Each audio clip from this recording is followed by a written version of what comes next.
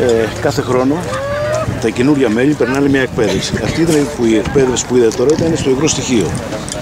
Είναι το πώς μπορεί ό- όταν θα είμαστε ναυαγοί να μπορέσουμε να επιβιώσουμε.